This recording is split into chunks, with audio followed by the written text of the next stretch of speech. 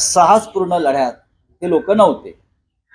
त्याच्यामुळे त्यांना दुसऱ्यांविषयी एक असूया आणि पोटदुखी आहे. की हे लढ्यामध्ये हे शुरासारखे मर्दासारखे काम करत होते.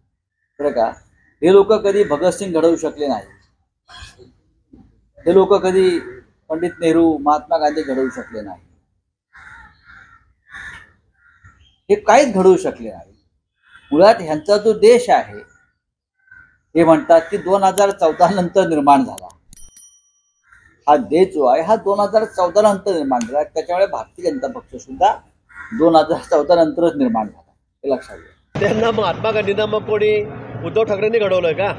तर संजय राऊतांनी घडवलेलं आहे? मला कळत नाही असं का वेडं वाकडं ते का बोलतात?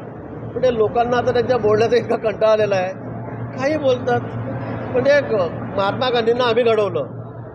काय बोलावं या माणसाबद्दल? म्हणजे सकाळ झाली की काहीतरी बोलायचंच आहे. वर्बल डायरिया झाल्यासारखं आपण काहीतरी बडबडत राहायचं वेडवाकडं बोलत राहायचं. काल म्हणे ग- ज्यांना उद्धवजींना का बोलवलं नाही राम मंदिराचं? ते व्ही व्ही आय पी नाहीत का? पण काल तेच सांगितलं की बाबा तुमचा पक्ष तर तुमचा राहिलेला नाही. तुमच्याकडे शिवसेना राहिलेली नाही. तुमच्याकडे त्या पक्षाचं चिन्ह राहिलेलं नाही. तुम्ही त्या पक्षाचे अध्यक्ष नाहीत.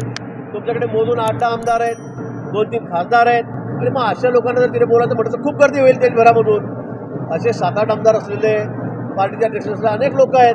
आणि म्हणून आम्ही म्हणजे केंद्र सरकारने त्यांना बोलवलं नसेल आणि पण ते कुठल्याही गोष्टीचं वाईट वाटून घेतात आणि सकाळपासून आपला वेडावाकडा भोंगळा हा सुरू करतात.